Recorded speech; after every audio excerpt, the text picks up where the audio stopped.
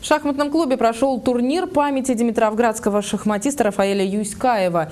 Полвека назад он впервые стал чемпионом города и восемь раз подтверждал это звание. Считаю его своим учителем и старшим другом.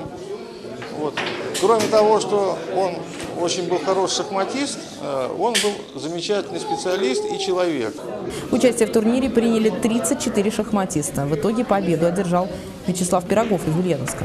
Наш Александр Уланов стал вторым. Среди ветеранов сильнейшим был Игорь Кунгурцев.